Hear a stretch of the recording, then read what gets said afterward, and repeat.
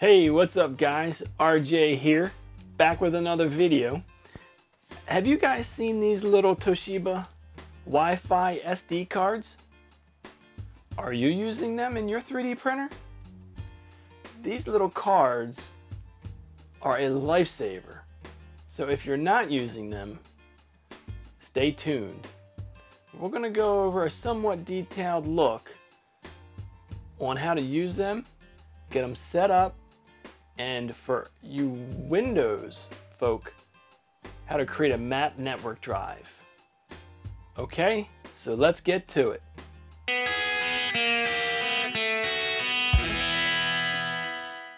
Welcome back. I use these cards in both of my printers, a FlashForge Creator Pro and a handicapped screwed up Fabrikator Mini. A story for another time a note on using it with the Mini. Uh, first, you'll need to install the 12864 um, LCD smart controller that has the SD card on it. You're also going to need to modify the uh, Merlin firmware uh, so that it keeps the um, wireless radio on uh, in the SD card. Thankfully, uh, Mr. RC Cam over at the rccam.com forums has already puzzled out all the firmware changes needed. Uh, I'll leave a link in the description to the form post. I'll also leave a link for the entire modified version of the software, which will include the um, LCD, SD software, and the modifications to keep these Toshibas uh, uh, powered on. With these cards, I don't have to swap the SD card from my computer to my printers, which is a lifesaver for us, you know, more lazier peeps. They also save a ton of wear and tear on your printer's SD socket. All this savings for $31.99 on Amazon. For us Windows folks, we can also map the card as a drive.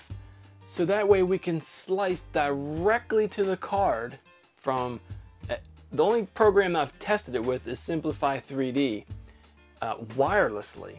So we can slice directly to the printer, which for us non-attached USB folk is pretty great. Unfortunately, it's not all peaches and cream. These things can be a real pain in the butt to get set up and working correctly.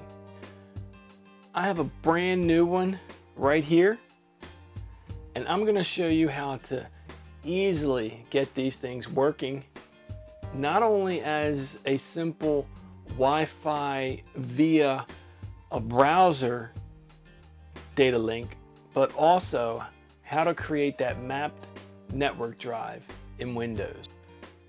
So let's do it. So if you haven't already, um, you're going to need to download and install the Toshiba FlashAir tool. Um, once you've done that, go ahead and insert the uh, SD card in your computer. And then we want to navigate to the SD card. So you can select Windows key E on the keyboard to open up uh, this PC or my computer. And you want the SD underscore WLAN folder. And we're interested in this config file right here. So go ahead and open it. Now this is what it looks like, the config file before the uh, Toshiba FlashAir tool has touched it. This is what it looks like after it's uh, initialized it and with the um, the added um, settings. Excuse me. Uh, quite a few of these you need to add manually. Uh, one of which is the upload equals one has to be in there. The second is the WebDAV equals 2 must be in there. And because you want to map the SD card, it needs to have a static IP address, so you need to add this IP information here as well. So um, what we'll do here is I'm going to change the SSID here and I'll explain why you need to do that. We'll leave everything else as is. So, and I'll leave a copy of uh, these files in the description of the video. So once you've done that to, well, you haven't done anything yet, but because um, this is the original, the current config, and then this is mine. So what I'm going to do is I'm going to copy or select everything up to the CID entry. Do not copy the CID entry. Move that over and then again select everything up to the CID entry. Paste it. Do the same on the top half of the file. Select everything down to the version. Do not select the version uh, entry. Copy that and then do the same as on the other for pasting it.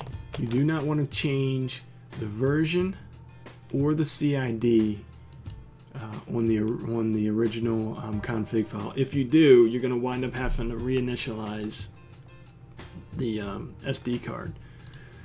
So once you've done that, you've got your IP set, you've got your your name set, and that name will be used to uh, call up in the web browser to navigate to it. It's the DNS name. Uh, you've, uh, you can add your uh, SSID here also. Once you've got that, you want to hit save. You can close out everything.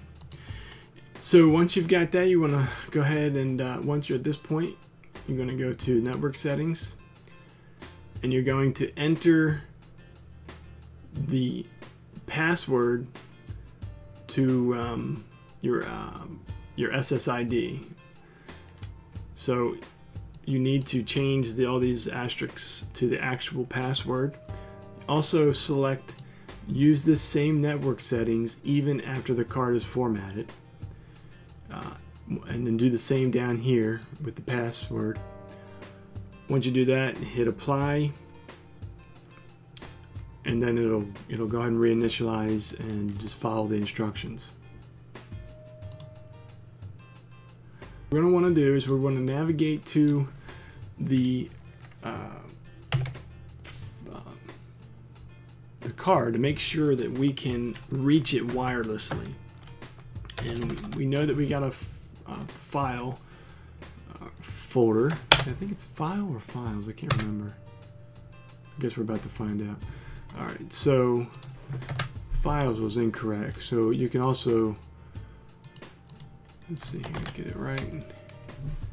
It's files, not file. All right, so we've, we're at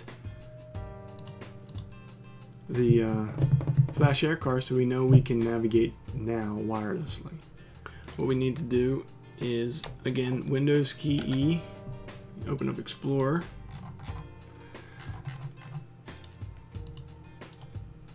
Um, let's see. Um, oh, yep. Under Computer tab, you'll see Map Network Drive. Select the Map Network Drive. And we'll just select R. We're going to enter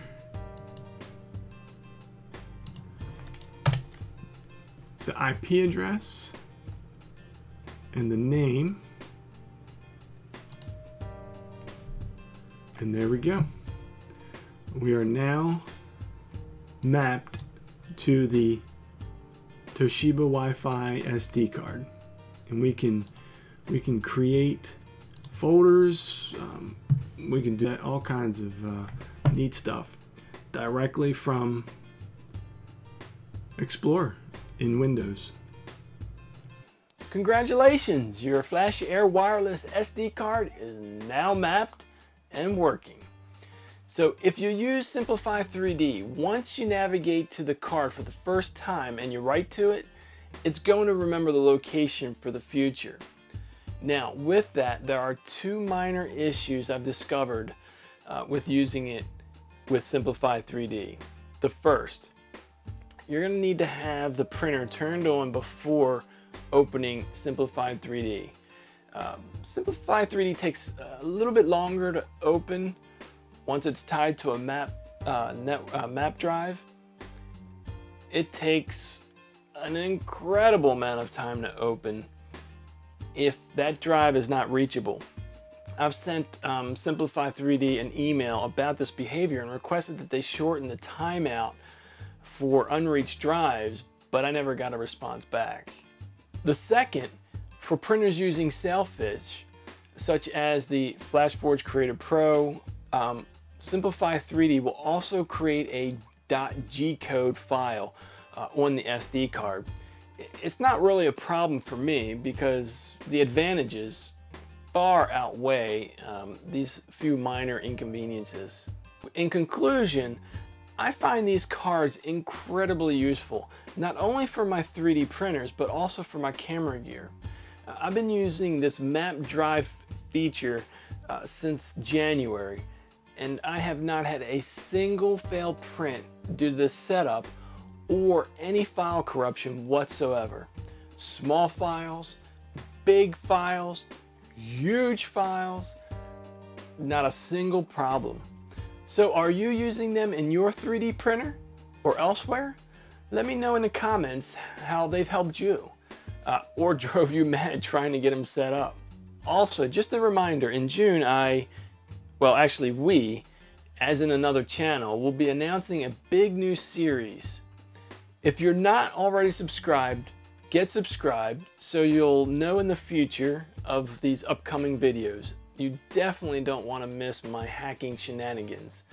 I'm also going to try to release a new video every two weeks. That about wraps it up guys. I hope this video helped you. If not, hit that dislike button and leave a comment as to why you didn't like it. But if you did, slap a like onto it. Share it. Alright, until next time, see ya.